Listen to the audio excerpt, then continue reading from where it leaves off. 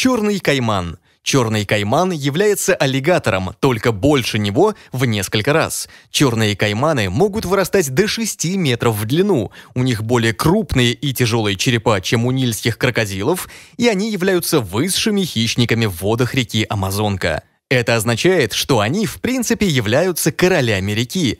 Они едят все, что попадается им в зубы, включая пираний, обезьян, пресноводных окуней, оленей и анаконд.